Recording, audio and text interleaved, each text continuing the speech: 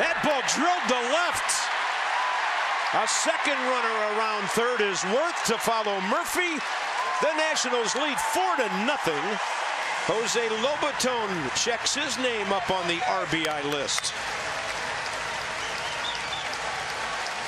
Line is moving in the first, folks.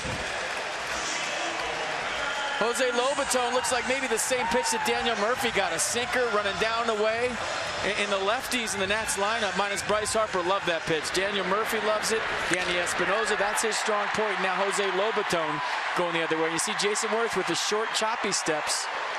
That's what you do when you have a tight hamstring because if you reach out, you have a chance to pull it. So smart base running by Jayson Werth, clutch hitting by Jose Lobaton.